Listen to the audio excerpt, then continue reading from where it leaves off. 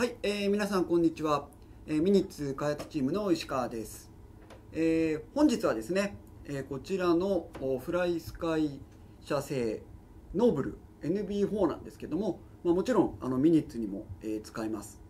えー、こちらのですね、えー、送信機を管理するツールに、えー、フライスカイのですねアシスタントというソフトがありましてそちらがですね新しくなっておりますのでえー、今日はですねそれをご紹介したいと思います。はい、えー、じゃあカメラさんちょっと裏へ回ってきてください。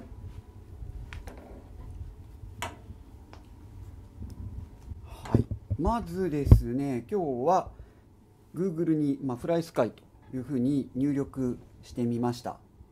そうして検索するとこのフライスカイのですねページが現れますのでこちらのリンクをクリックします。はい、そうすると Flysky のホームページに飛びましてちょっとスクロールするとここに Noble の NB4 があります、ま、ここを押します。はい。そうするといろいろなインフォメーションがあるんですけども、まあ、ここにですねダウンロード Downloads Upgrade っていうのがありますのでこれを押すと、えー、ファームウェアなんかが、えー、保存されているところに来ます。で一番新しいファームウェアはこちらの FW2.099 アップデートノートってやつ、まあ、これなんですけども、えー、これは、えー、ここからダウンロードしてもらってもいいんですがもう少し下に行くとあ行き過ぎちゃったか？もうちょっとか。行き行き過ぎてしまいましたね、えー、ここです。フライスカイアシスタントのこの V3.0.4 ですね。こちらが公開されています、まあ、以前にこの V1 っていうのがあったんですが、まあ、これは、えー、あんまり良くなかったんですがこれ今新しくなっておりますので、まあ、これをこちらからダウンロードしていただくという形になります。ちょっと時間がかかるのでダウンロードしていたのがしておいたのがこちらですね、えー、フライスカイのアシスタントの英語バージョン。えこちらをダブルクリックすると、えインストールが始まりますので、えこれはですねインストールの説明に沿って、え進めてください。はい、私のちょっともうすでにインストールしてしまっているので、え、ちょっとどのような感じになるかというのをちょっと画像を撮っておきました。え、こちらをですね、えインストールして、え、始めていただくと、えこんな感じの画面が現れます。はい、えー、フライスカイのアシスタントでウェルカムという形なんですけども、えー、使う前にですね、えー、レジスター、え、登録しなきゃいけないという形です。でここでですねなんか E メール入れたくなるんですけどもこれは実はログイン画面でしてここの、え、レジスターですねここの部分こっちを1回押してください。そうすると、え、画面が切り替わります。これ横行かないな。これ一回閉じてそうすると次の画面がまこちらになるので、えー、そうするとウェルカムのレジスターに変わります。これ登録です。でここに受信できるメールアドレスを入れてください、まあ、私の場合はここに教書 .co.jp を入れます。はい。そして、えー、これでですね、まあ、これ SMS じゃないんですけどこの GetSMS をまあおきしますと、えここのメールアドレスにパスワードが届きます。はい、そうすると今度次の画面ですね、えー、こちらで届いメールで来たですねパスワード、まあ、ここでちょうど残り32秒の時の映像ですけども、えー、E メールに届いたパスワードをここにま入れていただく。そして、えー、レジスターを押していただければ大丈夫です。そうするとですねくるくるくるくる回るのが出ましてサーバーと通信して、え時間がかなりかかります。これ3分ぐらいかかるんですけど、まエラーではないので、え、そのままお待ちください。もちろんあのインターネットにつながってないとダメな状態です。それを終えるとですね、え、私のちょっと立ち上げてあるんですけども、えこれがアプリケーションの画面です。これね動かすのもねちょっと重たいんですけども、まあ、こんな形で、えソフトが起動するという形になります。そうしましたらこの NB4 ですね、え、電源を入れましてはい電源入りました。でこの USB ですね。パソコンに挿してある。それから、え、こちらの小さい方をここに挿す感じですね。を挿していただくとはい。音がしまして、はい、今ここの表示が、えー、変わりました、えー、オンラインデバイスセッティングという形でここに NB4 が、えー、表示される感じとなります。ただこれをですね、えー、クリックしていくとこの中に入りまして、えー、そうすると、えー、トランスミッターのファームウェアがアップデートできるようになります。ちょっと押してみましょうか。はい。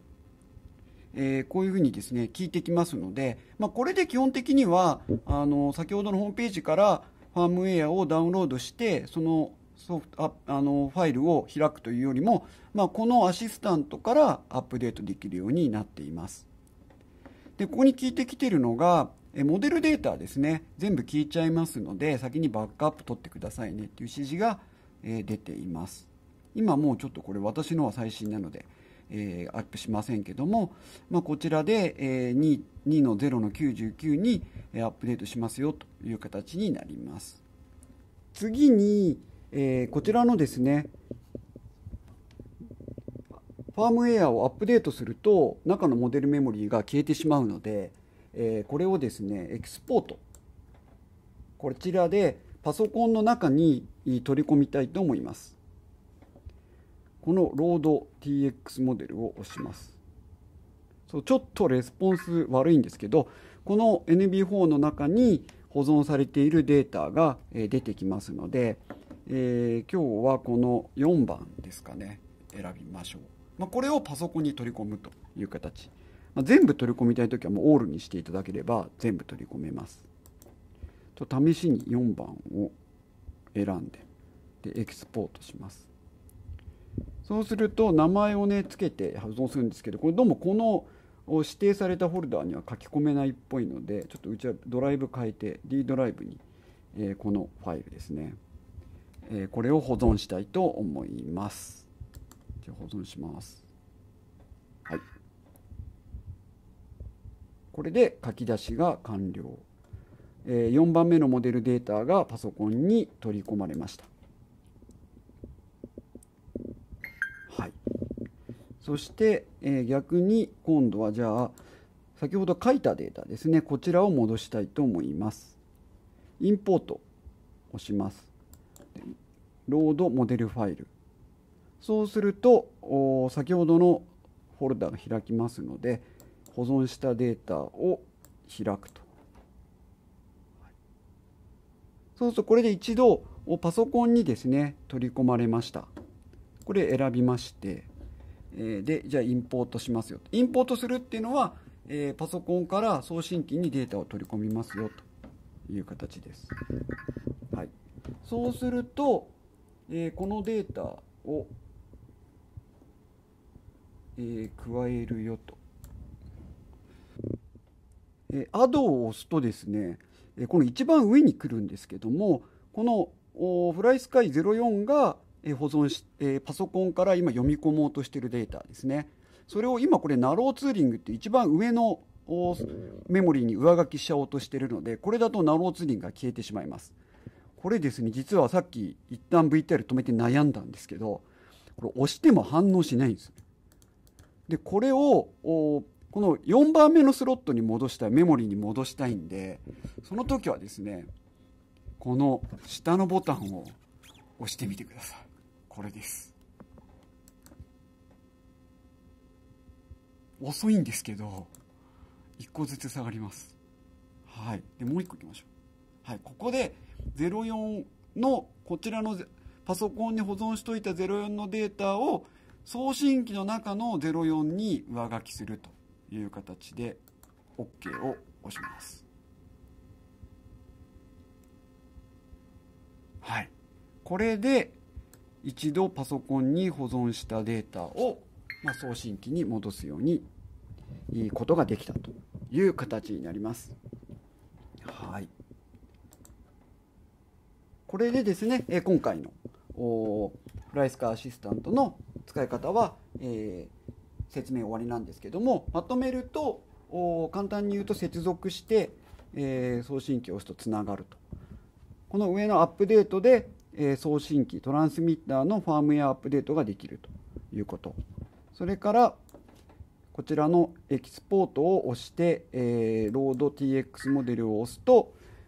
この送信機の中に入ってる、まあ、モデルメモリーですね、これを一度パソコンに読み込む画面ができますよという形ですね。で逆に今度インポートを選ぶとパソコンに保存したものを一旦読み出してそして、えー、さらにどのモデルに送信機のどのモデルに上書きするかを選んでえー、データを戻すことができると、えー、そんな、え、こちらはソフトウェアになります、まあ、非常に便利なソフトなのでぜひ、え使えるようになってみてください。はい、え本日はこれで以上となります。ありがとうございました。